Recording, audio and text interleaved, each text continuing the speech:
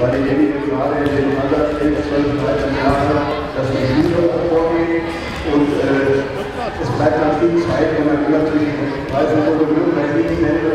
auf der Straße liegen, was sie nicht anders finden können. Wir suchen uns solche Vereine aus, die eine gute die anderen dazu gehört Weizenhof. Ich kenne die handelnden Personen, teilweise über 20, 30 Jahre, 50 Jahre in gemacht und ich weiß, äh, dass da gute Arbeit geleistet wird und wir wollen dann